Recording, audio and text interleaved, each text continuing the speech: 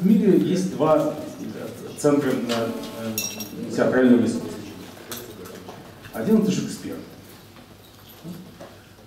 который абсолютно субъектен и сюжетен.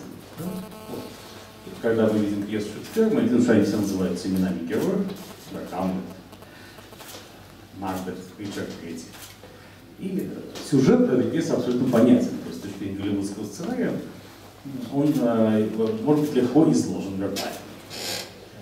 Второй центр э, театра – это Чехов.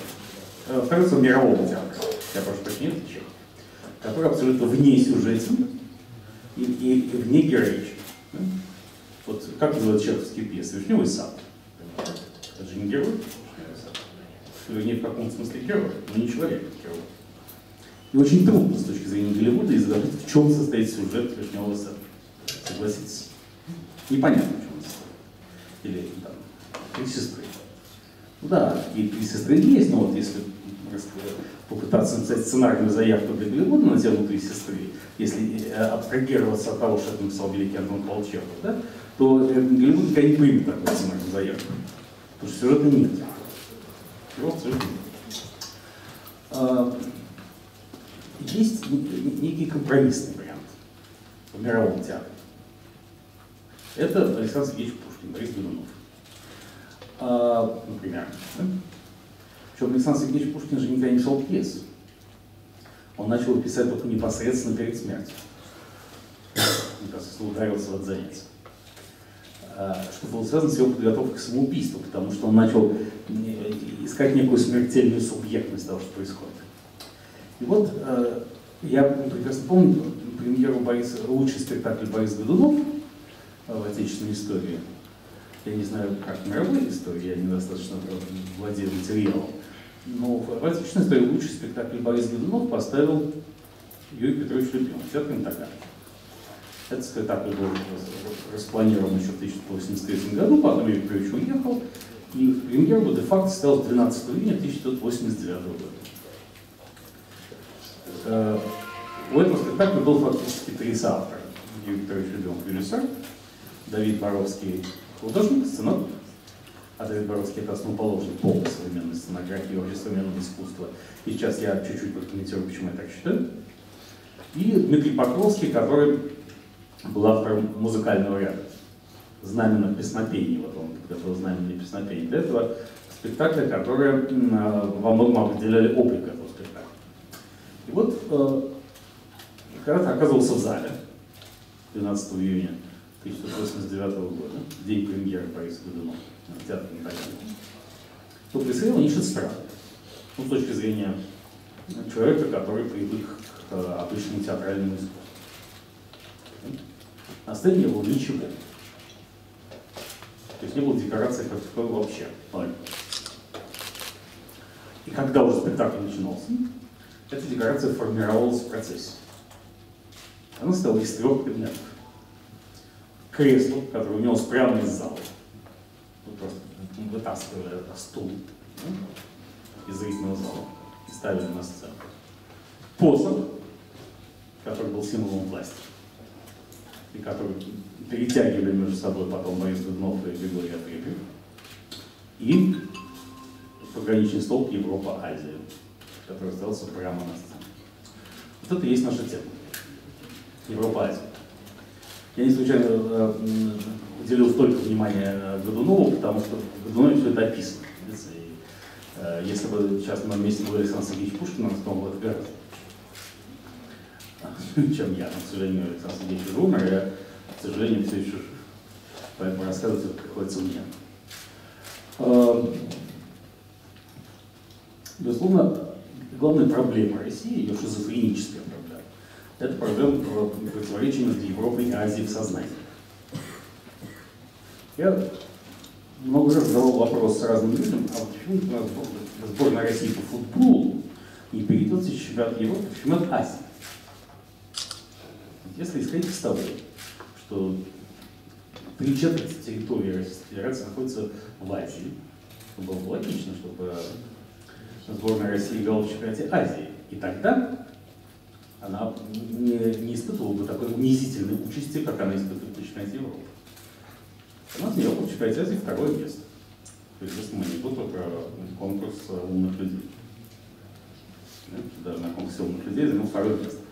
Вот. Э, но Россия не может существовать в Азии. Она может существовать в Европе, потому что только, только Европа является системой образцов для России. И об этом, опять же, правильнее всего, сказал Антон Павлович Чехов, этому посвящена вся, вся чеховская драматургия. Три сестры, не помню, Прозоров, брат трех сестер, говорит, сидишь в Москве в огромном зале ресторана, никого не знаешь, и все вокруг свои.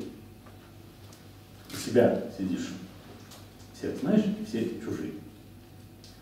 Это фактически проекция Европы, да, то есть вот э, Москву можно видеть на Париж. То есть э, очень легко представить себе романтическое свидание в Париже для но очень сложно представить себе романтическое свидание в Улан-Баторе, например. В чем э, специфика Татарстана в этой связи? Да? В том, что Татарстан он является олицетворением, безусловно, власти Орды исторически. Ведь, э, э собственно, э, азиатизация России была, безусловно, порождением монгольской оккупации, и Татарстан является форпостом этой монгольской оккупации. Поэтому, когда Иван Грозный взял Казань, это был, с точки зрения Фрейда, Адлера и Юнга, это была победа гештальта, на тоталитарного гештальта над другим. Нужно было обязательно уничтожить монгольский гештальт, да, нужно было его покорить, нужно было подчинить его себе. Чтобы сделать такой же точно тоталитарный гештальт, только как монгольский. То есть э, Иван Грозный впитал в себя все это, э, всю эту энергетику монгольского завоевания, нужно было обязательно взять Казань. Потому что если не взять Казань, то как, как же доказать, что ты настоящий тоталитарный правитель. Этого нельзя было взять никак, доказать никак. Вот. Э, и, собственно, русские патриоты и гордятся тем, все русские патриоты, что Россия защитила Европу от монгольского завоевания, поглотив э, это монгольское завоевание и впитав его в себя. Но эта эпоха заканчивается. Вот я сегодня нахожусь в Казани впервые в жизни. Не буду этого скрывать я вижу, насколько это европейский город, даже по сравнению со многими другими русскими городами. Я вижу, насколько Казань, э, Татарстан хочет быть Европой, а не Азией. И в этом смысле Татарстан как источник условно монгольской оккупации России, которая э, предопределила историю развития России на долгие века вперед и назад, э, создает пример для России. Ведь э, европеизация сегодня является глобальным трендом. Вот сейчас, например, уходит в отставку, если это можно так сказать, формулироваться, я не уверен, что можно так сформулировать, что это формулировка корректно император Акихито или император Японии Акихито, чего не было за всю жизнь. Э, знаете, что японская династия, правящая существует 2000 лет, это Япония единственная страна, в которой никогда не менялась правящая династия. Никогда.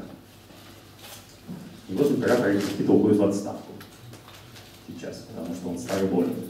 Хотя он не так уж старый, ему 82 года, но, так сказать, он э, болен от, так сказать, тяжелым амиотрофическим склерозом, и он не в состоянии выполнять свои публичные обязанности.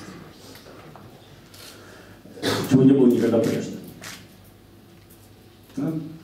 Потому что император сын богини Солнца, как мы знаем, и э, он не может уходить в отставку. И, и, и прежний император Хирохито из, отменил свой статус сына богини Солнца только под влиянием адмирала Макартера в день капитуляции, заговорочной капитуляции Японии на борту Линкольна Миссури. А, мир абсолютно движется в европейском направлении. Все, кто говорят, что Европа слабеет, что она там гибнет под давлением мигрантов, это все чушь собачья, простите, за, эти, за, за, за, за эти вульгаризмы. Вот можно даже посмотреть, например, фут, столь любимого мною футбола.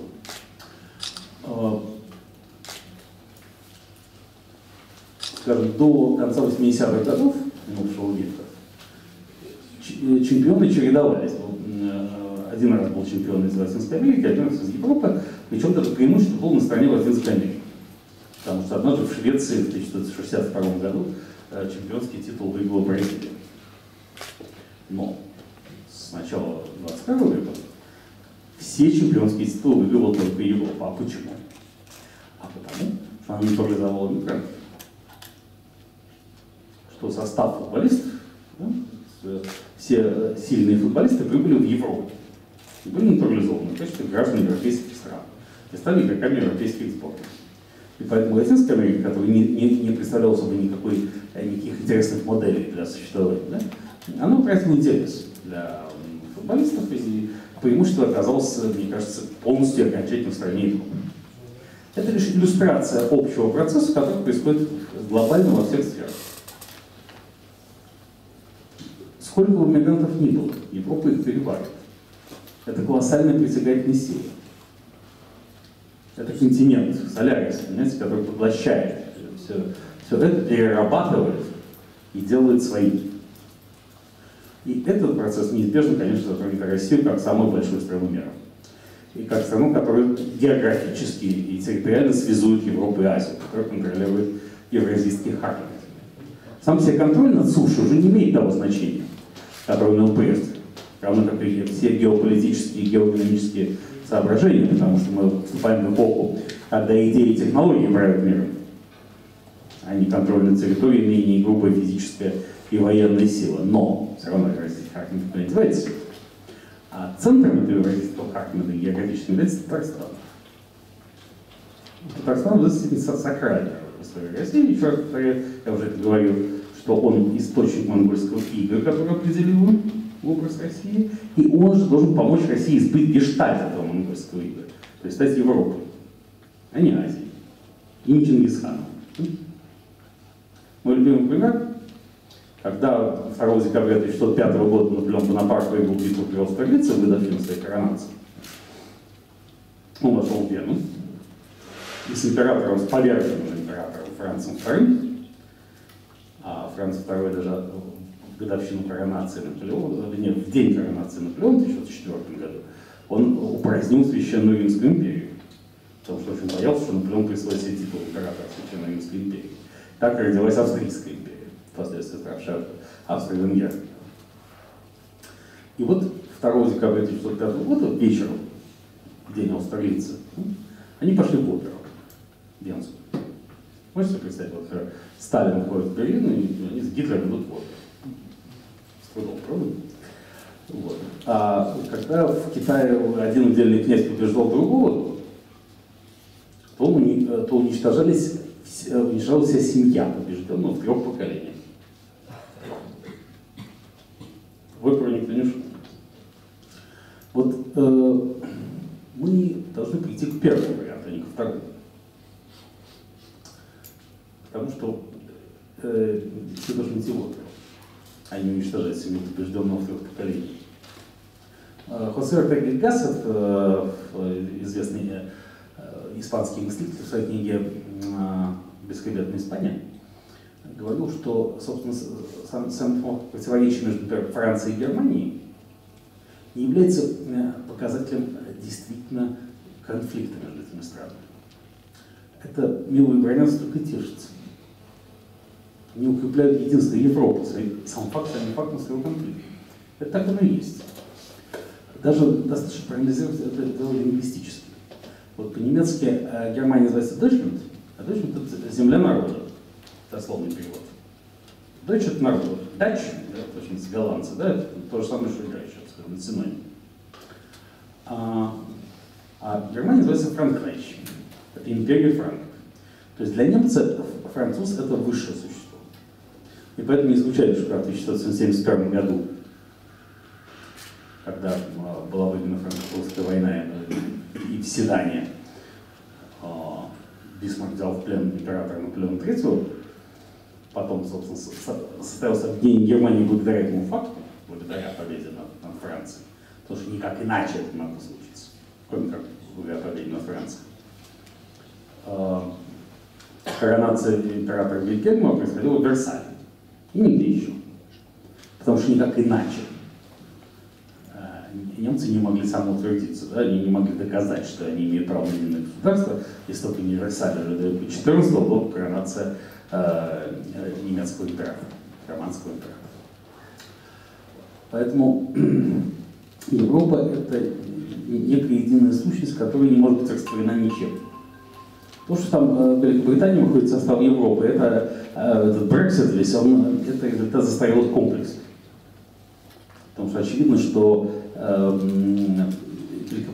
искусственная э, часть Европы, да, она там возникла, э, вошла в нее случайно, и в результате наполеонских войн, континентальные блокады, да, ведь э, она не должна была там оказаться, и фактическим создателем Евросоюза был Наполеон Бонапарт, он создал Евросоюз. Кризис Евросоюза первый наступил в результате э, войны 1912 года, Отечественной войны которую Россия выиграла Франции. И Священный Союз э, в известной степени тоже был провозвестником и прототипом э, Евросоюза, просто поскольку Россия не могла отказаться от крепостного права и, не хотела принять европейские ценности, несмотря даже на широту мышления императора Александра Павловича Александра I, да, то поэтому не получилось, что Россия возглавила бы Евросоюз, для чего в 1915 году у нее были все возможности. Поэтому а, мы движемся в Европу. Это мы, и мы там окажемся. И, но слом Гештальт начнется здесь, непосредственно здесь, в Казани, на мой взгляд. Потому что э, именно та сила, которая и насадила в России монгольские игры, должна его и одолеть. И это уже происходит. Вот когда я здесь, я, я, как я уже сказал, Простите, я впервые в жизни нахожусь в Казани, я вижу, как это происходит. Вот я вижу, что по, по сравнению с огромным количеством депрессивных регионов России, где я объездил всю страну, да, вот здесь нет никакой депрессии. Ее нет. Здесь есть абсолютное, э, абсолютный тренд на развитие и абсолютное понимание чего-то, что должно вот-вот случиться. И мне это очень радостно.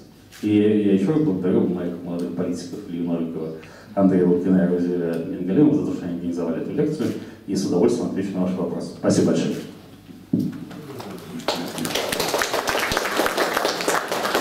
Человек прошу прощения, что я не встаю из-за травмы ног. Спасибо большое.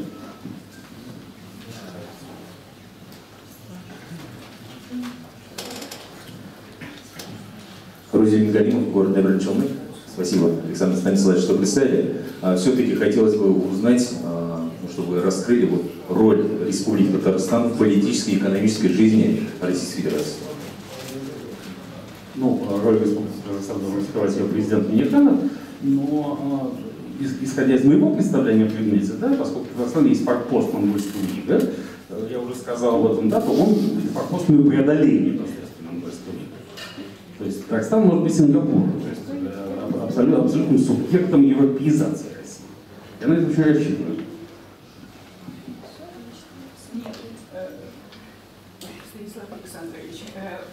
Вы можете не вставать, простите. Я сам не встаю, то неудобно, что да, да. История Татарстана, она многовековая, сложная. Очевидно, вы ее плохо знаете. Я пришла к такому... Невозможно. Понимаете, Татарстан – это не форпост ИГА. И вы в этом, мне кажется, ошибаетесь. А, об этом много написано, я сейчас не буду освещать эту историю. А, хотелось бы нынешнее состояние, понимаете, э, тема была заявлена так, Татарстан и демократия. И я пришла на эту лекцию услышать именно освещение этой проблемы, потому что у нас есть демократия, большие проблемы, хотя Татарстан развивается прекрасно. Я э, э, люблю свой Татарстан.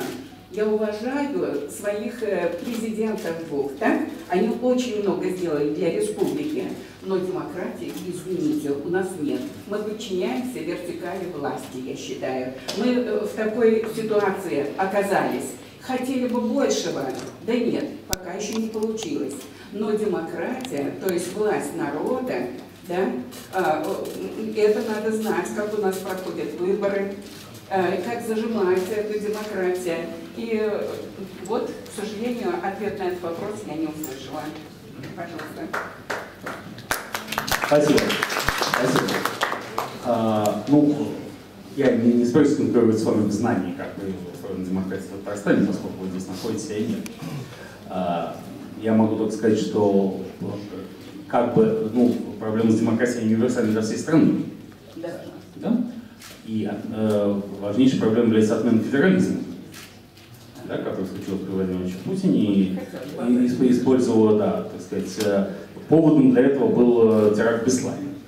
Абсолютно формальным и не имевшим, не имевшим ничего общего с, э, собственно, с проблемой федерализма. Это просто было использовано как, как предлог для упразднения практически выборности губернаторов, тем самым важнейшего института федерации. И, демократии, э, естественно, вы прекрасно понимаете, что демократии нет. То есть было бы смешно утверждать обратно. Но сам вектор движения, я о чем говорил, что сам вектор движения вверх, он не отменим. Вот многие считают, что президент Дмитрий Анатольевич Медведев ничего не решил, а был марионеткой Путина. Это не так. Он очень много решил. И именно он решил, что нужно возвращать выборы губернаторов, в этот момент его сняли, и поэтому э, этот вектор не был доведен до конца. Что будет потом, непонятно, да, так сказать, сменит ли снова Медведев Путин или не сменит, мы не знаем. Но я убежден, что это все вернется, потому что такая крупная территория не может быть э, управляемой не на федеративных началах. Федерализм важнее основа основы. То, что Путин плохо и не принял нет демократии, но это настолько очевидно, что я просто не, не, не хотел об этом говорить, чтобы не отнимать ваше время. Это, так сказать, о, слишком очевидно, чтобы занимать ваше время да, такой ерундой. А, и для Владимира Владимировича Путина важнейшим является контроль над э, территорией, а контроль над территорией, естественно, возможно только в своем отсутствии демократии. Да, потому что он не в состоянии отпустить вожжи, он не в состоянии дать возможность людям принимать те решения, которые они считают нужными. Но тренд, сам базовый исторический тренд, э, идет в другую сторону. Путин играет против истории. Именно поэтому он проиграет. Не знаю, когда это произойдет. По, по зарослийскому гороскопу вы можете смеяться, а может и нет. Это произойдет в марте 2017 года. Я не знаю, что это означает на самом деле, потому что я не, не Заратустра, да, говоря. Но это поражение неизбежно. Я просто не уделял этому внимания, потому что, ну, настолько очевидно, что да, что, что, что нет демократии, Путин плохо, да, естественно, я думал, что принимать все, все собравшиеся, поэтому я просто не уделял этому слишком много времени. Спасибо. Как вы оцениваете вероятность того, что Давайте товарищ Путин... Дорогие друзья, давайте все-таки мы с помощью модератора будем, да. Угу, спасибо. Да, спасибо. Илья Новиков, Казань. Э, Станислав Александрович, э, скажите, пожалуйста, Почему падает рейтинг доверия вот у основных политических партий, которые сейчас представлены в Госдуме? Спасибо.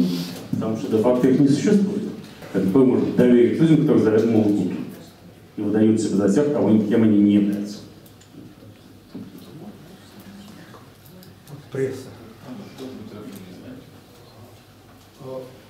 Алло.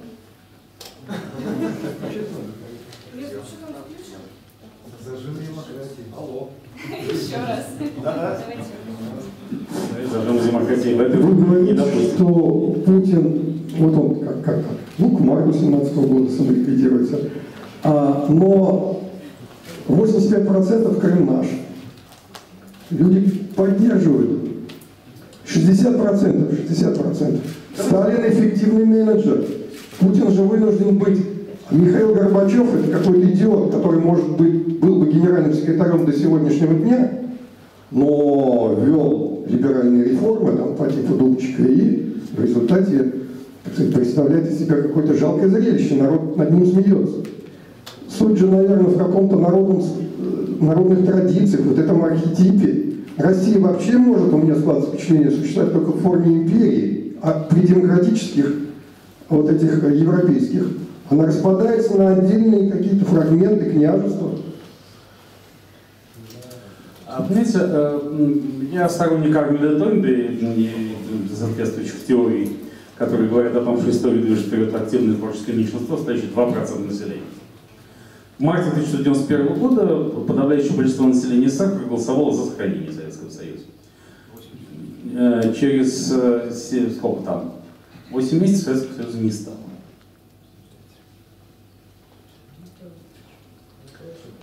Не имеет никакого значения. Э, Да, 85% за Крым наш, а через год будет по-другому, если сменится руководство политической элиты. Тогда был национальный мир. Больше половины населения было не русским. Это не важно. Все республики поддерживают сохранение Советского Союза. Поддерживают. Прибалтика, Кавказ, соединяли, поддерживали СССР. Да, конечно. Нет, Прибалтика нет. Прибалтика нет. Даже Украина была Прибалтика нет, а Украина и, и Средняя Азия, конечно, да. Безусловно, поддержали полностью сохранение Советского Союза. Тем не менее, вскоре, через несколько месяцев Советского Союза не стало. Ну, это по цифрам мы видим, да? Вы же апеллируете к цифрам. Вот давайте апеллировать к цифрам. А, поэтому совершенно не важно, э, сколько процентов поддерживает сегодня Крым наш. Важно, когда к власти придет новая политическая элита, которая э, сменит парадигму развития России. И это неизбежно. Это не важно, когда произойдет. То, что э, позиция, что никогда ничего хорошего не будет в этой стране, она понятна мне. Но не стоило бы, понимаете, приходить даже на это мероприятие, чтобы обсуждать эту позицию.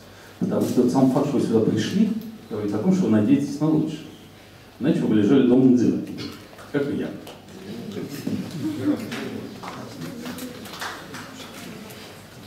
Станислав Станиславович, еще не такой вопрос, а как на ваш взгляд, вот в условиях нынешней политической ситуации в России вообще могут существовать независимые кандидаты, независимых депутатов вне партии? Я считаю, что только вне партии они могут существовать, потому что партии полностью дискредитированы, нынешней системной партии. Но все они являются составной частью одной, одной и той же политико-экономической машины Кремля и, и никак не могут убедить никого в искренности и достоверности того, что они предлагают. Именно собственная независимость является единственным э, залогом грядущей политической победы. Что да, ты не выиграешь сегодня. Я не вам обращаюсь на ты, а э, рассуждаю в абстрактном персонаже. Э, да, ты не выиграешь сегодня, но доказав сегодня, что ты независим, ты выиграешь завтра. Это единственный залог успеха.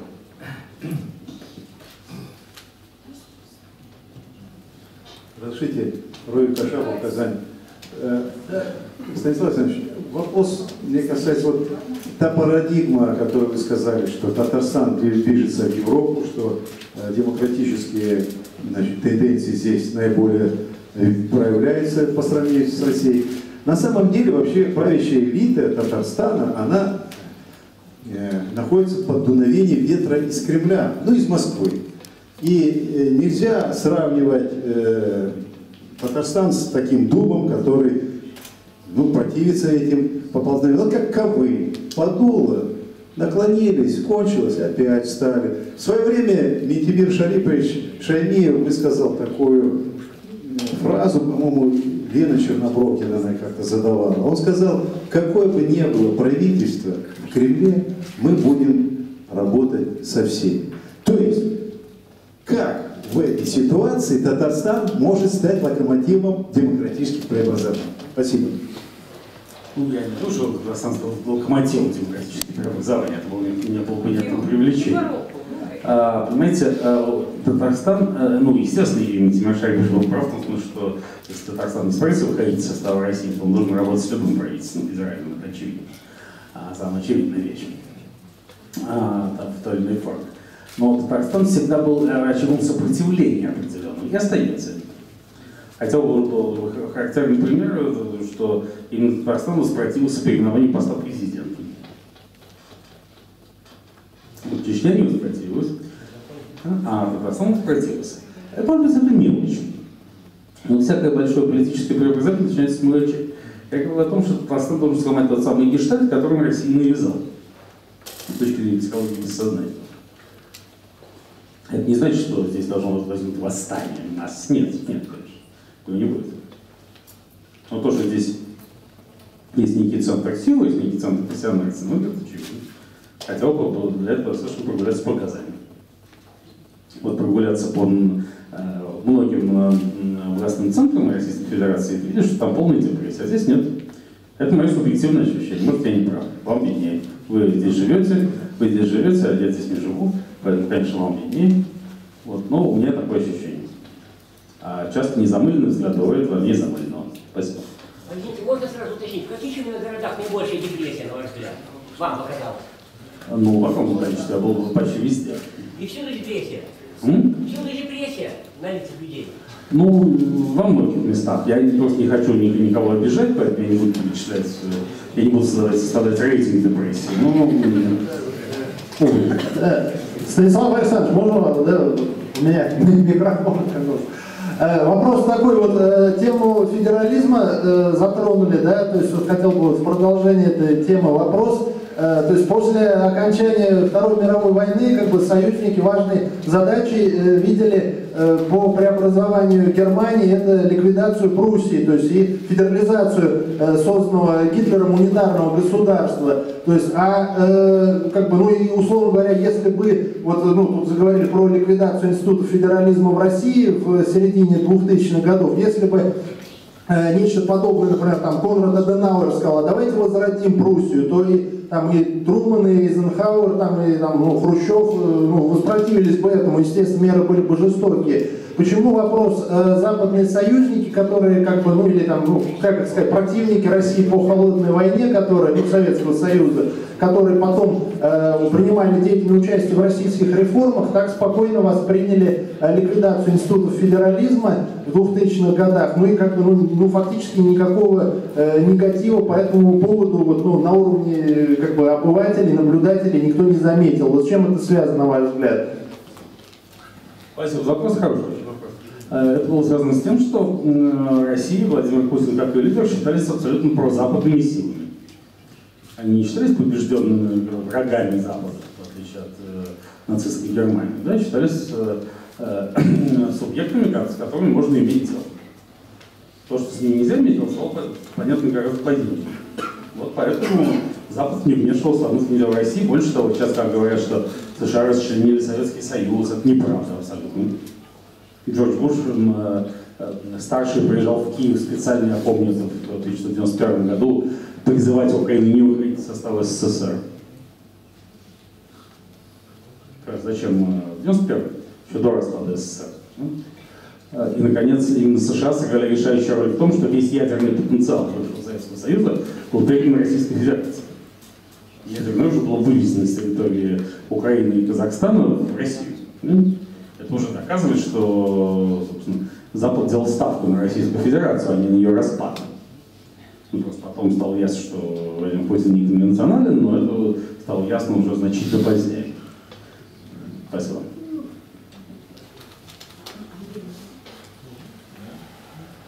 Андрей Никитин, Альмейск. Э, Станислав Александрович, вы много ездите по стране, много общаетесь с людьми. Хотелось бы э, спросить у вас, э, по вашему мнению, каким сегодня люди видят э, депутаты Гос- Государственной Думы?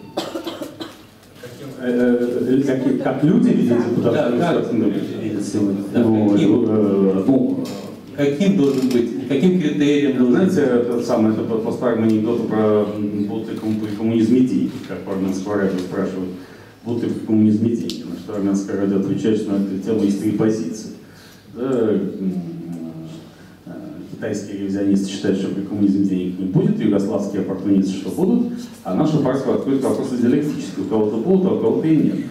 Знаете, депутаты, естественно, люди видят депутатов по-разному. А, Но если мы говорим об активной части общества, к которой мы все здесь присутствующие принадлежим, а чтобы не забывать в этом зале, то, конечно, депутаты рассматриваются как клоуны, не заслуживающие никакого доверия. Вот, поэтому я думаю, что участие в выборах э, имеет целью не избраться, не получить депутатский мандат, который сам себе ничего не значит, а имеет целью просто заявить себя в качестве представителя нового поколения политической элиты. Я вам это очень желаю.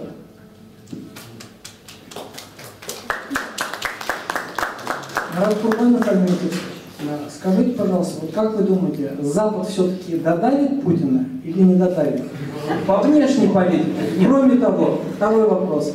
А, нужно ли Западу давить? Или есть ли у Запада э, желание додавить Путина или начать давить именно по изменению внутренней политики? А Внутренняя политика за Запад вообще не волнует, это проблема русского народа. Запад не собирается вмешиваться в это дело. Он исходит из того, что как русский народ хочет, так пусть и будет. Хочет русский народ быть коллективным работать, пусть и остается. Даже таких проблемах. Почему должен Запад это решать? Собственно, сам- сама философия Барака состоит в том, что она это фаустовская философия. И что достойно жизни и свободы, кто каждый день за них идет на бой. Условно, устраиваешь Майдан, мы тебе поможем. Не устраиваешь Майдан, мы не справимся за тебя его устраивать. Поэтому, пожалуйста, живи как хочешь. А? Сейчас, сейчас перейдем к сокам, да. Сейчас я не успел просто ответить на этот вопрос. Нет, додавить неправильно. Запад идет путем изоляции Путина, а не додавления. А задача додавления – задача внутренней элиты. То есть как бы шаг это табакерка является инструментом этого додавления. Но опять же, это задача внутренняя. Барак Обама, который считает подающимся абсолютно государственным политическим деятелем нашей эпохи, если у кого-то возникнет вопрос, почему я так считаю, я готов просто уже более развернуто. Просто исходит из того, что ну, Путин не настолько опасен. Он сформулировал это все в программном журнала «Атлантика», что ресурсов у России для давления на Запад немного. Его задача просто сделать так, чтобы Путин ему не надоедал. Он это делает. А что будет с Путиным, это задача русского народа, и Обама прекрасно формулирует. Ребят, я не буду за вас ничего решать. Хотите, решайте, не хотите, не решайте.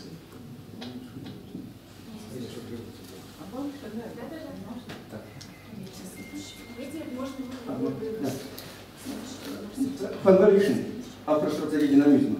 Станислав Александрович, у меня к вам два взаимосвязанных вопроса.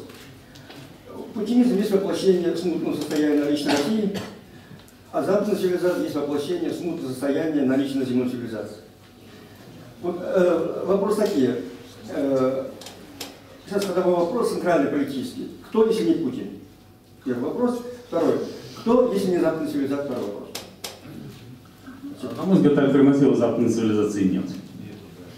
А кто если не Путин, это не совсем корректный вопрос. Что, если не Путин? Если не Путин, то парламентская демократия, в которой его личности не будет столь велика.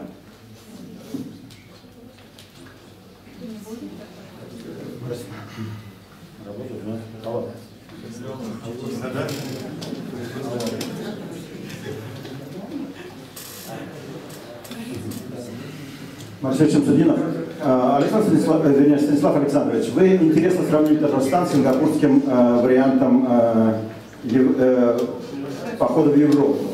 Но мы вот, э, жители Татарстана, видим, что э, у нас не совсем Сингапур, потому что главная заповедь Сингапура, Ли Кан Ю, э, обоснователя сингапурского чуда, э, было, если хотите построить демократическое государство успешное, боритесь с коррупцией, посадите ближайших там родственников и так далее. У нас этого не наблюдается, у нас наоборот, тот, кто э, номенклатура своих не сдает и так далее. И э, вы утверждаете все-таки, что э, именно Татарстан будет э, тем э, отправным пунктом, который э, всю Россию повернет в сторону Европы, начнет евро, европейский демократический путь. Вот нам это так не очень кажется, потому что у нас э, президенты и первый, и второй, по-моему, лет 10 уже ездят в Сингапур. Ну, как вот э, Сингапура э, не совсем получается. По-вашему, все-таки татарстанская элита развернет Россию и будет образцом э, того пути в Европу, европеизации всей России? Или э, и избиратели, э, народ Татарстана тоже приложит здесь свою руку? Или народ и избиратели Татарстана такие же, как э, во всей э, нашей Российской Федерации, как вы говорите, 85%? Э, вряд ли об этом думают. Спасибо. Разумеется, спасибо за вопрос. А, разумеется, я не, не, не так абсолютно об этом говорю, что Татарстан развернется в России. Я говорю о том, что есть предпосылки. Ну, всего, так сказать, самого исторического гештальта Татарстана.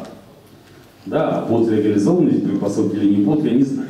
А, это, этого не знает никто, да, но это, по крайней мере, можно сделать, хотя бы теоретически, потому что в Татарстане не, не, есть некоторая политическая субъектность а скажем, в Тульской области, где губернатором сейчас работает охранник Владимир Пустин Дюмин, такой субъектности нет, например. По-моему, это субъектность тех же среднеазиатских республик. А, Быть первым в деревне, а не вторым в Риме. Тем не менее, да, так сказать, поэтому есть такие, предпосылки, возможности, но, естественно, это не, не происходит прямо сейчас. Вот. Я просто исхожу из я вижу, что здесь нет депрессии, которая есть в большинстве регионов Российской Федерации.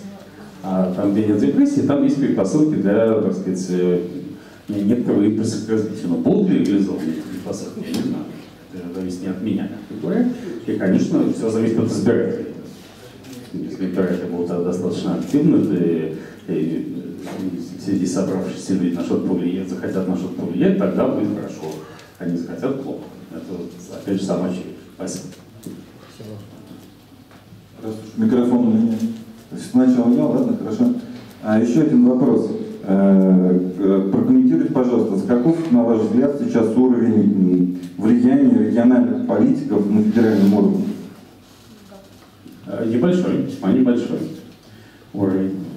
А, То есть Владимир Владимирович Путин не хочет никакого влияния региональных политиков на себя, и, естественно, его сама философия тотального контроля над политической системой исключает возможность того, чтобы регионы как-то серьезно влияли. Но вместе с тем он не хочет идти на конфронтацию в тех вопросах, которые, в которых регион занимает принципиальные позиции. Это касается Чечни, касается.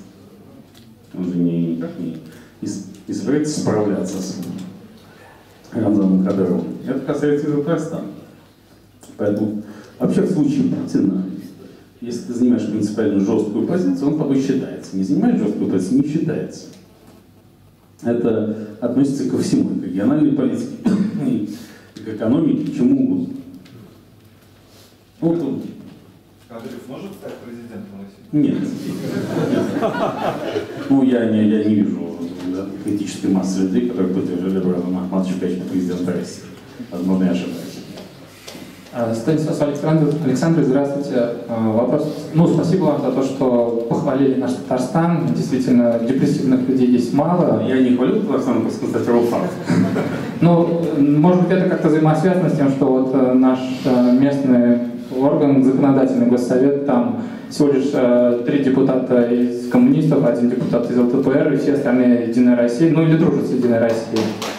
Вот. э, Вопрос у меня вот в каком смысле. э, Как вы оцениваете вообще нынешние э, непарламентские партии? под нас, яблоко, потому что я один раз слушал, как вы э, ну, хорошо покритиковали под нас за то, что вот у них не получилось провести праймерис, у них там ну, слив получился участников праймерис. Вот, и, соответственно, как вы относитесь к представителям непартийных партий у нас в Татарстане? Спасибо. Непарламентской партии, да. Э, Знаете, э, Паргас критиковал не за, так сказать, не за сам факт проведения праймериса, их не проведения, а за, э, за развал этой конструкции. Да, что касается яблока, то при всем к нему уважении, я считаю, что партия не, не нацелена на политическую победу, она все-таки национально настроена в э, нынешнюю э, кремлевскую политтехнологическую систему, и дай, дай бог здоровья, что называется. Я отношусь к э, непарламентским партиям по большому счету даже как к парламентским. Э, э, по- по- Потому что как, как только некая структура называет себя партией, она начинает играть по определенным правилам. Эти правила исключают возможность прихода к власти этой партии, исключают ее политическую субъектность. Поэтому я верю в личности, в политику, вот скажем, тоже Навальный. Да, я к нему отношусь неоднозначно, Алексею Анатольевичу, но мы с ним старые друзья, потом перестали быть друзьями и так далее. Но, по крайней мере, человек, который сам принимает решение относительно того, что ему делать. Я верю именно в таких людей, которые сами принимают решение, что им делать. А партия не принимает сами решения, что им делать. За них эти решения принимает Кремль. Спасибо. Я за Парнас.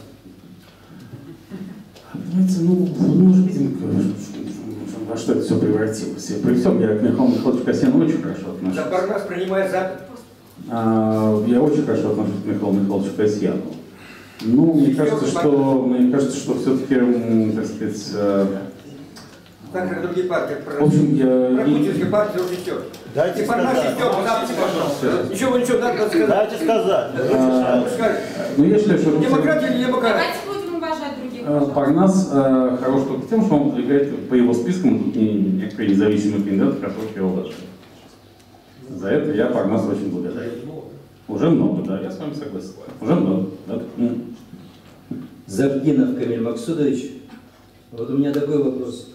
А, Идеология, вот и идея Крым наш, это означало а, начало гибридной войны против миропорядка, современного миропорядка.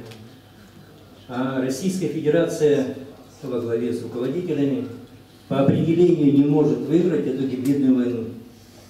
Хотя бы потому, что к Западу завтра присоединится Юг и Восток. А обязательно присоединится, я был и на Юге, и на Востоке недавно. Я с вами согласен, может меня в этом не убеждать. Вот, и я хотел бы сказать вам, что цена вот этого вопроса руководители понимали или нет. Население не понимало, и 86% поддержало. А руководители понимали, что цена этого вопроса вообще существования государства Россия, просто как существование как государство. Спасибо. Это очень хороший вопрос, я очень за него благодарен, очень компетентный вопрос. А, знаете, все, все, что происходит, описано очень хорошо в книге Зигмунда Фрейда «По ту сторону принципа удовольствия». Написано по контекстам Сабины Шпиллера, ученицы Фрейда и любовницы его партнера Юнга. А, Владимир Путин, вот это не имеет отношения к политике формально, да? но ведь когда человек э, получает абсолютную власть, то его психологические проблемы становятся и политическими. Да? Его психология становится политикой. Если анализировать происходящее именно с точки зрения психологии, то выглядит это э, так, по, по э, Владимир Путин всегда совершал колоссальные рывки на разрушение тех систем, которым он служил. Вот, казалось бы, Путин э, охранитель, человек, который защищает э, определенные системы. Формально, э, с точки зрения психологии сознательно, так оно и есть. Да, он был сотрудником КГБ СССР, и там был директором Дома советской культуры в Бресте. И известно, известен этот миф о том, как там немцы пришли штурмовать Дом Бресте, во что, естественно, я не верю. Потому что Э, могли приходить пакистанцы или иранцы штурмовать что-нибудь, это не немцы. Это Путин сам себя придумал, чтобы чувствовать себя героем. Какие немцы придут штурмовать дом, такой никакой не был повод. Смешно.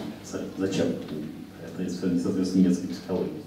Когда рухнул Советский Союз, КГБ СССР, который работал Путин подполковником, он в кратчайшие сроки, ну, там пройдя через э, систему частного извоза запорожца, да, Э, его отца, стал вторым человеком в городе Санкт-Петербурге, а мы их вопросах не первым.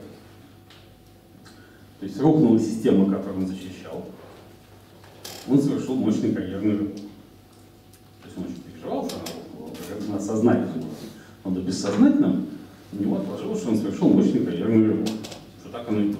Если Советский Союз не рухнул, то Путин был всего лишь там, функционером среднего звена Комитета государственной, государственной безопасности. Больше, больше не вижу. Значит, э, следующий этап поражения Собчака, Анатолия Александровича Собчака на Я сколько знаком с семьей Собчака неплохо. Я э, ответственно заявляю, что Путин действительно очень любит семью Собчака. И очень с огромным уважением относится к покойному Анатолию Александровичу. Это так. Он его никогда не предавал. Но э, он был руководителем штаба Анатолия Александровича Собчака, предвыборного штаба на выборах мэра Санкт-Петербурга в 1996 году. А, и эти выборы были проиграны.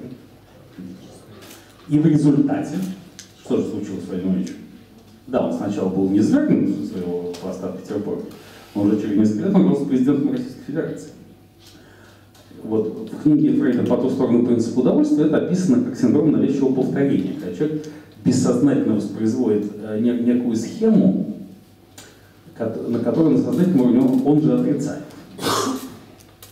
у Путина э, сложилось очень правильно. Он э, де юре защищая, формально защищая определенные системы, де-факто всегда был выгодообладателем их краха. Сейчас он идет, вот то, что вы спросили, ответ на этот вопрос очевиден. Он идет к тому разрушению уже третьей системы. Ответить на вопрос, зачем он делать невозможно, потому что относится к психологии бессознательно. Это психотерапевт должен ответить на этот вопрос. Но он идет да, вы абсолютно все правильно сформулировали. Он разрушает ту систему, которую унаследовал Борис Ельцин. Спасибо. Вопрос был гениальный. Простите. Я не хотел вам польстить. Спасибо. Э, Станислав Александрович, э, хотелось бы спросить у вас, вот, считаете ли вы, что в последнее время стремительно падает э, уровень доверия населения к чиновникам всех уровней? Если да, то чем это обусловлено? Мне кажется, это, это обусловлено тотальной коррупцией чиновников. И все. Вряд ли вам что-то добавить. Владимир Иванович, есть такой вопрос. На последних выборах, значит, на праймерис Парнаса а, максимальное количество голосов занял Слава Мальцев. У меня такой человек известен, да? Как вы, собственно говоря, относитесь к, к его позиции и к нему, к нему самому? Вот как вы видите дальше ходить его кандидатуры и так далее? Я лично не знаком со Славой Мальцевым, хотя он предложил мне в День Победы на выборах правильно Парнаса провести публичный дебат, чего я не исключаю, что может, я бы ему это проведел. А Вот. А я когда с человеком лично не знаком, я стараюсь избегать каких-то принципиальных оценок этого человека. Ну как, он ну, политик с большим стажем, а, он был, так сказать, э, депутатом, даже вице-спикером Саратовской областной думы. Насколько я понимаю, у него есть определенные отношения с Вячеславом Володиным, как по администрации президента, и мне кажется, что отчасти по этой причине он, он и выиграл. Но вообще он молодец, потому что, собственно, надо идти побеждать. А что, кто, кто же мешал побеждать другим на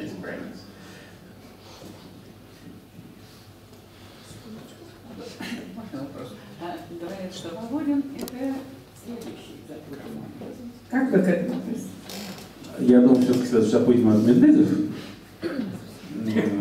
э, потому что все-таки это политический сын Владимира Владимировича. И вот то, что случилось 24 сентября 2011 года, это библейский сюжет. Ну, когда шокировка обратно. Да, это моление о чаше. Когда Дмитрий Анатольевич Медведев э, попросил, молился о том, чтобы исполнилась воля не его, но его политического отца. И вряд ли кто-нибудь уступил бы под президентский пост. Это абсолютно эксклюзив. Поэтому я не думаю, что Владимир Владимирович предпочтет кого-то Дмитрию Анатольевичу. Ну, возможно, все, и в конечном счете ведь все под боком ходим. Вопрос в том, какого состояния здоровья Владимир Владимирович, и когда это состояние здоровья конвертируется в какие-то политические приемы. Я как житель Татарстана вот вижу то, что как раз-таки Путин перенес модель Татарстана на всю Россию. Могу пояснить. У нас в Татарстане никогда не было выборов глав администрации прямых. Это отсутствие демократии. А, Значит, э, если взять в бизнесе, то, по-моему, в Татарстане самые первые начали сносить вот эти ларьки, киоски, строить супермаркеты. Это то, что сейчас происходит в Москве. Ну и также с брусчаткой, с бордюрами, тоже, по-моему, в Татарстане начиналось. Теперь Хуснулин там, по-моему, пол Москвы перевернул. Вот. Как вы к этому относитесь? То, что Путин, для Путина, видимо, Шаймиев был какой-то некий пример, он посмотрел, как в Татарстане обстоят дела, и это все внедрил уже в масштабах России. Отличный вопрос, спасибо вам большое, отличный, прекрасный вопрос. А, все правильно, это то, о чем я говорил, только другими словами. Что, знаете, э, Татарстан вообще является гештальтом монгольского ига, да? А, и поэтому он и должен его сломать. То есть э, все должно идти от обратного. Да, я с вами согласен, абсолютно. Что, опять же, на бессознательном уровне, да, татарстанские модели заимствуются на федеральном уровне.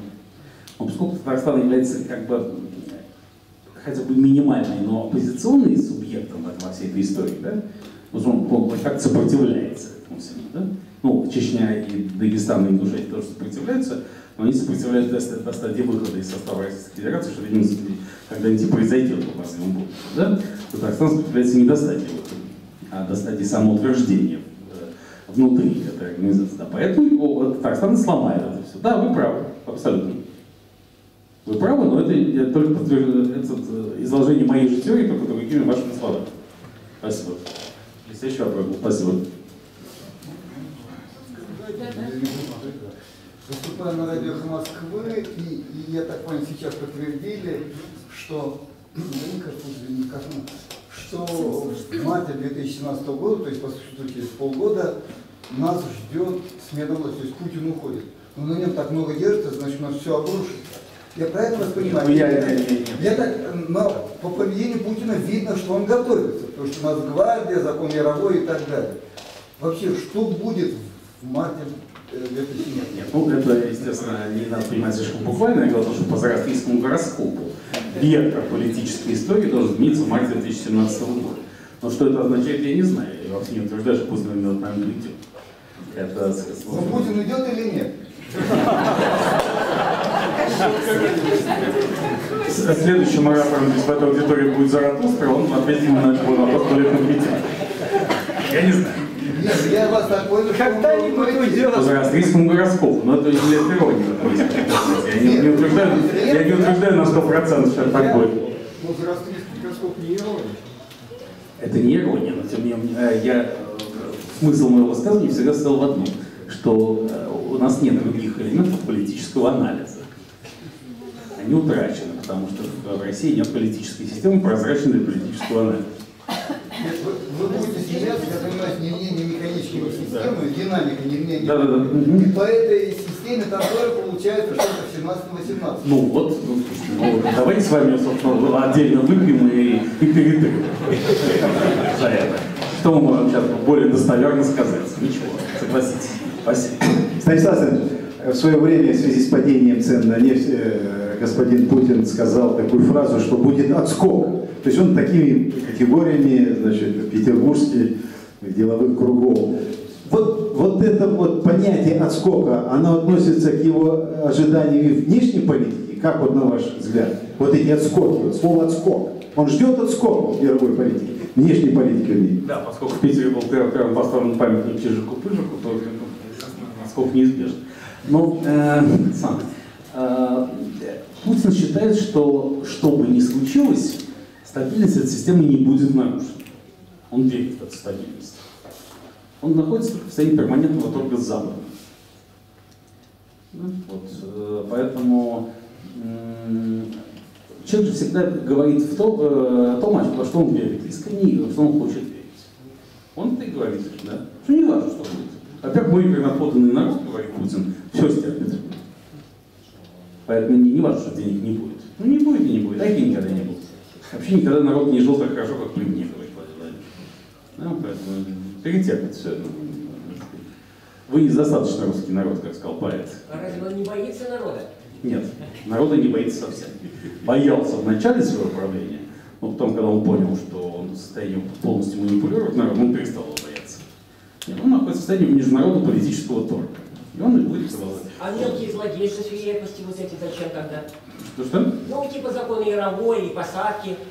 Нет, ну... Кто поцарапал эмаль. Нет, ну, закон Яровой многослойный, во-первых, он имеет коммерческое значение, потому что там э, с этим связаны огромные закупки за бюджетный счет с этим законом Яровой, да, всякого оборудования для, для, для, для нужд ФСБ.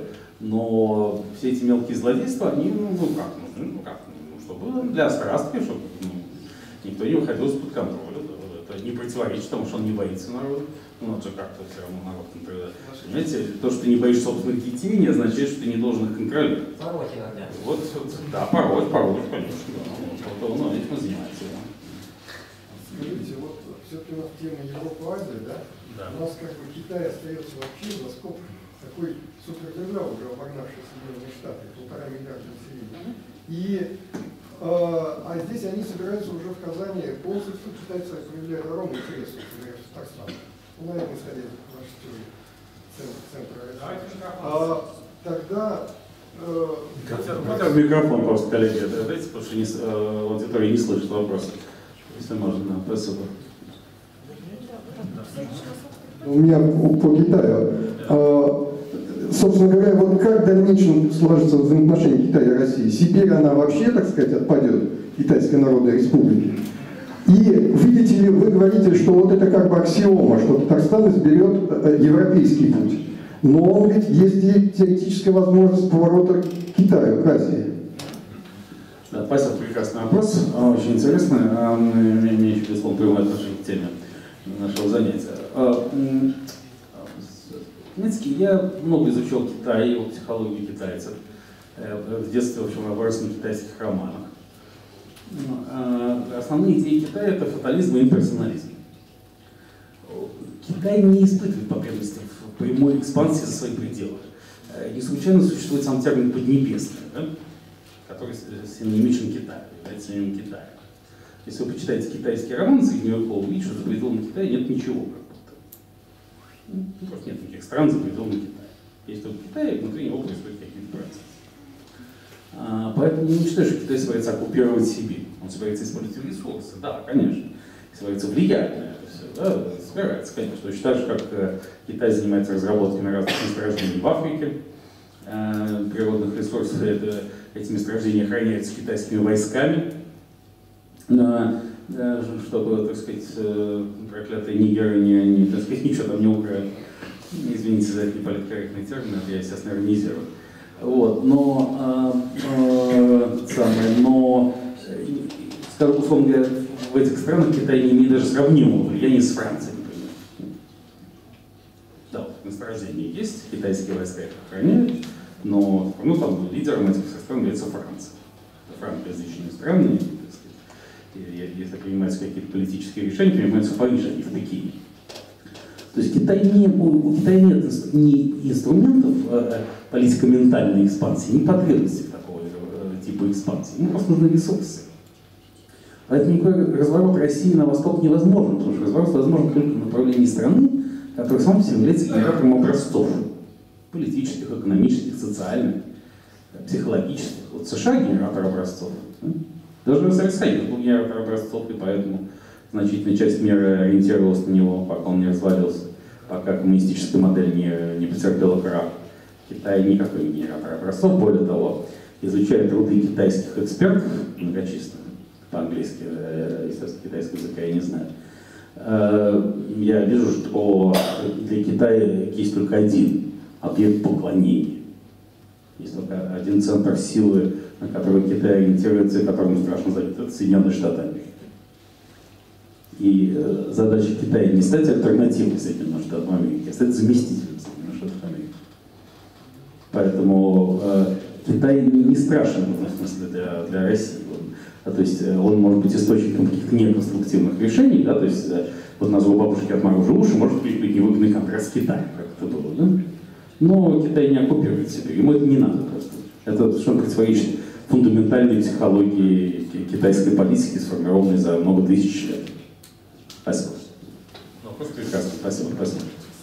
Как вы думаете, вот Путин, он знает о тотальных фальсификациях на выборах? Или все-таки ему так внушили, что 86% за него голосует, и о фальсификациях только вот пятая колонна что-то фантазирует? Я думаю, что для него нет разницы. Понимаете, это вот, опять вопрос психологии. Вот, условно говоря, можно также спросить, скажите, Василий а жена тебя любит? ну, раз она от меня не уходит, говорит Владимир Ильич, значит, она нет. Вот это, понимаете, да, что я говорю сейчас? Ну, если народ за меня голосует, значит, за меня голосует. А как это происходит, это тоже совершенно другой вопрос. То есть он, он, он не задумывается ему это не важно. Ему важна стабильность системы. А как он достигается, это для него десятый вопрос. Это вопрос технологии, не, не, неправильно, неправильно сформулировал, простите, пожалуйста. Это вопрос технологии. Это не принципиальный вопрос, а вопрос технологии. А он понимает, к чему эта стабильность приведет потом? А, стабильность для него самоценка. Он хочет стабильности любой ценой, потому что он консерватор по психотипу. И я думаю, что его просили, что будет потом, он сказал, потом я умру. Конец цитаты. Станислав Александрович. Если на таким будет, он умрет и стабильно закончится. Все-таки такой вопрос. Ну, здесь не только вы, но и многие говорят, что Владимир Путин когда-то уйдет, возможно, скоро.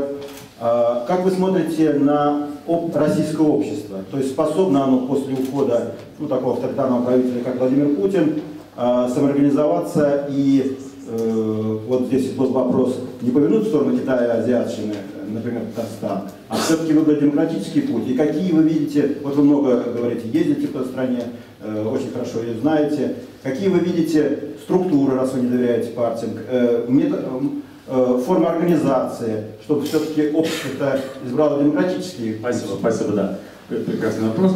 Нет, я не утверждаю, что очень хорошо знаю страну, как я думаю, что и даже в этой аудитории есть много людей, которые знают это лучше меня. Но я же действительно много пытаюсь изучать страну. А, а, значит, а,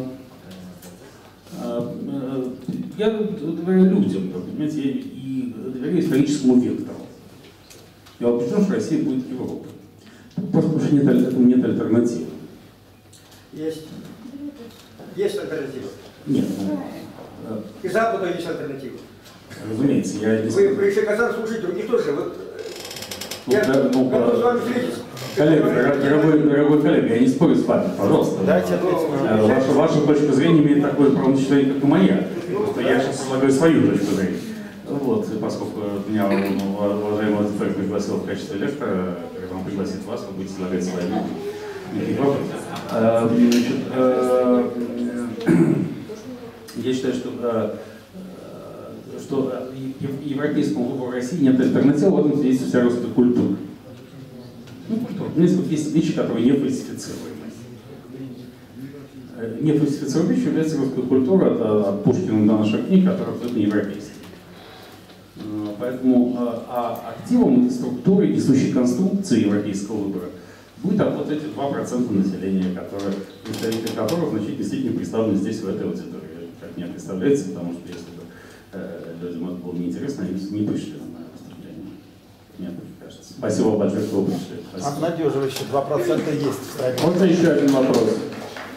Станислав Александрович, а, Вопрос опять по обществу нашему. Вот вы говорите, что 2% двигают, ну или приведут э, к каким-то фундаментальным изменениям в нашем, нашем обществе.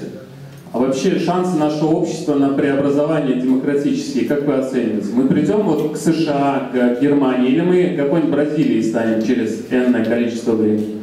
Да, мы станем Бразилией. А, вы абсолютно это правильно сформулировали. Я не считаю, что это плохо. Бразилия на сегодняшний день вполне развитая демократическая страна. Не то, что вы выше головы. Прежде нет, но не в прошлом веке, а в нашем веке. А, да, где импичмент президента состоялся недавно, как мы знаем, ничего, Бразилия не развалилась так ну, которые были в 20-м, Нет, нет, мы сейчас говорим о современной Да, мы станем каким-то образом современной Бразилии, да, США мы не станем, потому что у нас нет протестантской этики, у нас нет таких демократических традиций. А чтобы создать политическую систему США, надо за 7 пудов соли съесть. Ну, мы будем есть долго, поэтому временно пока станем Бразилией, но это тоже это гораздо лучше, чем сейчас. Это Какие сроки-то? Все хотим скорее.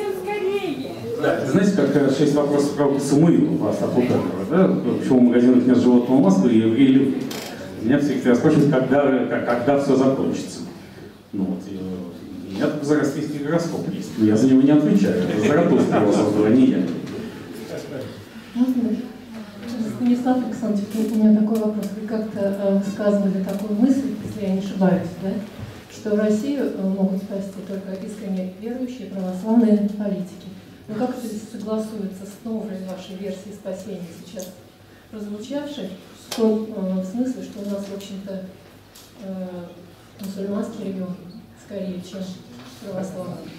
Да, я полностью подтверждаю свою, старую теорию о, о том, что именно православные политики должны сыграть решающую в этом роль. Я сам как православный человек. Но я бы расширил немножко это понятие до монотеистических политик. Исламские политики тоже могут сыграть в этом роль, потому что важна искренняя вера. Вера в спасение через единого Бога. Как бы пафосно это не звучало в России, что я думаю, что многие из здесь присутствующих атеисты, они не поймут меня. Но я сам, так сказать, абсолютно э, монотеист, и да, я утверждаю свою, свою версию, свою точку зрения. Спасибо. Невзоров вас не поддержит в этом вопросе. Вы знаете, я давно э, привык не, э, не выстраивать отношения с людьми на, на базе совпадения идеологии. Я готов дружить с человеком, который мной полностью не согласен.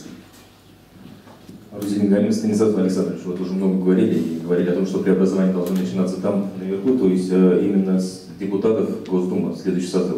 Вот а, каким вы видите? Как... Депутаты не вверх. Ну, в принципе, если мы захотим, то это можно сделать. Никогда.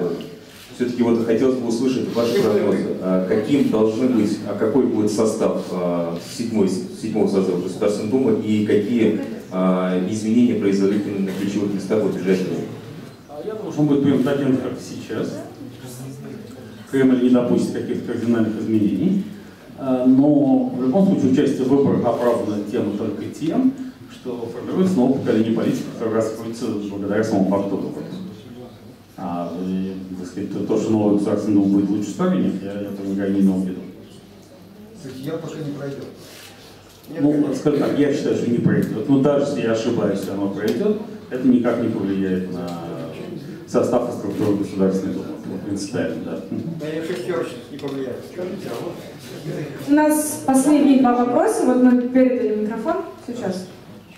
Станислав? Станислав Александрович, вот, э, если обратиться за границей, например, в Канаде, э, новый, новый э, секретарь, ответственный за внешнюю политику, это Борис Джонсон. Джонсон да. Борис Джонсон, который позволил себе множество самых нелицеприятных высказываний практически обо всех. И значит ли это, что Евросоюз приблизится к вот этому вот, к такому Борису Джонсону? Или Дональду Трампу, что вот, этот, э, вот эта идея левого, э, вот эта левая, левая Европа, э, левый популизм, ожидает ли его смена правого? Спасибо. Спасибо за вопрос. Хороший вопрос. Знаете, опять же, мы переоценим значение личности в западной политике. Западная политика институциональна. То есть Борис Джонсон, конечно, безответственный человек, там он был мэром Лондона, конечно, ответственный когда он писал Лемерики про Эрдогана, он не был министром дел. Когда он стал министром иностранных дел, не будет писать больше. Потому что это исключает его, его миссию, его статус. Да? Э, поэтому э, выход Великобритании из Евросоюза, этот Брексит, да, я, я уже говорил об этом в мы, это, понимаете, это просто следствие того, что Англия была не ограничена частью Евросоюза вообще.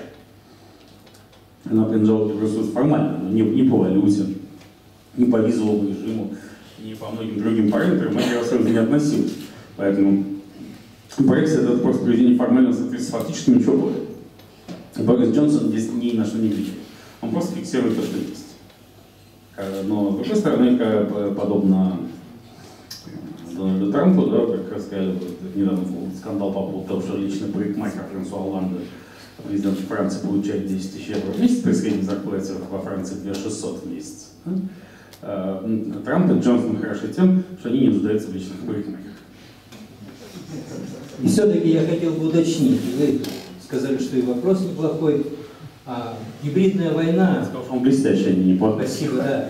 А, гибридная война для России – это вопрос ее сейчас существования. А вы сейчас на десятки вопросов говорите о будущем, о будущем России. Какое будущее, если вот цена вопроса нет, через нет, два года деньги Гибридная война – это вопрос Путина, а не России. Путин закончится, Россия останется. Я, я понимаю. Да. И тем не менее, это ведь очень связано. Это не бывает, что лидер там остался где-то. А ну, я, с вами, я с вами согласен, но все-таки я оптимист, как это не смешно. Я понимаю, чем обоснован ваш оптимизм? Вы говорите, гибридная война по определению согласились, что да, она, вопрос существования России. И в то же время вы рисуете картины на десятках вопросов о том, что там Бразилия или что-то. Да. Все-таки уточните. Потому что я считаю, что Путин со своей гибридной войной закончится, и и вектор изменится. Вот я из чего и скажу. Почему я так думаю, я вам не могу точно сказать. Я просто исхожу из того, что страна э, Пушкина и Толстого никуда не денется. И я не, хотел считать, что она куда-то денется. Возможно, я ошибаюсь, и тогда, значит, мы будем погребены под обломками э, российской государственности. Но я скорее оптимист. Я считаю, что Россия никуда не денется. Уважаемые журналисты, вопросы есть у кого-нибудь?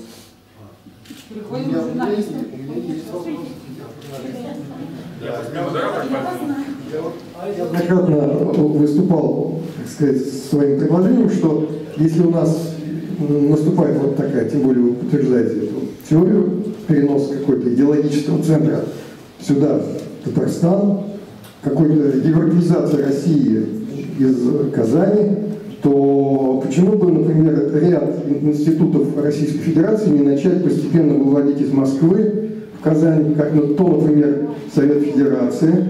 Нет, я, я, например... можно сразу перебью, не помните анекдот такой, нет, как на 26-м съезде, 27-м съезде партии э, Михаил Сергеевич Горбачев выступает, выступает, потом один делегат тянет руку, тянет, тянет руку, наконец Михаил Сергеевич не ведешь, говорит, да, товарищ, что вы хотели?